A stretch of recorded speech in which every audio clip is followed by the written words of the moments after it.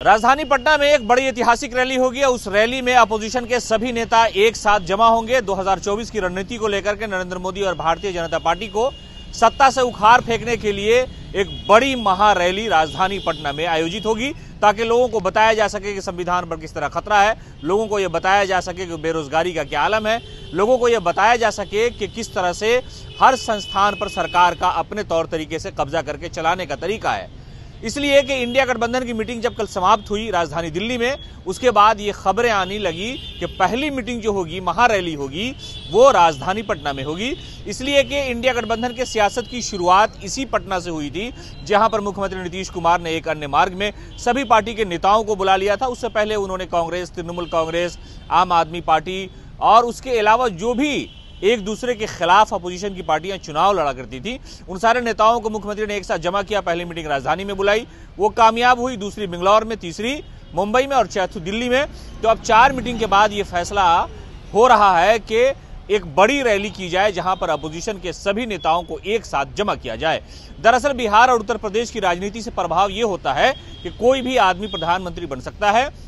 अगर 40 सीट बिहार की हो और 80 सीट उत्तर प्रदेश की हो, और यहाँ पर जो 50 फ़ीसद से ज़्यादा सीटों पर कब्जा करता है, वो पीएम की कुर्सी पर जा बैठता है। और इसी नज़रिए को रखते हुए सामने ये फैसला हो सकता है, सूत्रों से ये खबर आई है कि पहली मीटिंग जो होगी, वो विशाल रैली राजधानी पटना में होगी, जहाँ पर राहुल गांधी, सोनिया गांधी, खड़गे समेत मुख्यमंत्री नीतीश कुमार और लालू प्रसाद यादव की मेजबानी में शामिल होंगे। और सभी पार्टी जो भी इस वक्त अपोजिशन में है या इंडिया गठबंधन में शामिल है, वो सब यहाँ पर आएगी और एक बड़ा जो एक लोकसभा की चुनाव से पहले का जो बिगुल फूकने का एक तरीका होता है, जो एक प्रचलन है कि महारैली की जाए, ताकि उस रैली से लोगों को संदेश दिया जाए।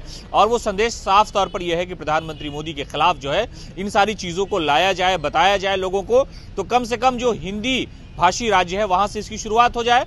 और अगर जब मुख्यमंत्री नीतीश कुमार ने पहली गठबंधन की मीटिंग इसी पटना में की थी तो इसी नज़रिए से सब लोगों ने इस बात पर विचार विमर्श भी किया कल, और सूत्रों से यह खबर आ रही है कि पहली मीटिंग जो है, वो पटना में आयोजित होने जा रही है, और यह महारैली उसका नाम रखा जाएगा, जो इंडिया अलायंस है, उस अलायंस के सभी नेता ने इस मामले पर ज़ोर भी दिया। हालाँकि पहले भी ये कहा जा रहा था कि इस तरह की रैली कहीं हो सकती है, बेंगलोर में होने की संभावना थी, लेकिन वो बात जो है, टल गई थी, लेकिन अब जब चौथी मीटिंग हो गई है, पाँच राज्यों के चुनाव के परिणाम के बाद कांग्रेस की हालत बड़ी खस्ता रही है। उसके बाद छोटी छोटी पार्टियों ने उन पर दबाव बनाया अपनी अपनी बात रखी और कल जो इंडिया गठबंधन की मीटिंग हुई, उसमें सीट शेयरिंग को लेकर के सारी चीज़ें सामने आई थी। लेकिन उसमें एक बात ये भी सामने जो हम आपको बता रहे हैं कि राजधानी पटना में इंडिया गठबंधन की बड़ी रैली हो सकती है और यहाँ पर जो अपोजिशन के जितने बड़े नेता हैं, वो सब यहाँ पर आएँगे और कहा यह जा रहा है कि इसी रैली से 2024 के चुनाव का बिगुल फूका जाएगा।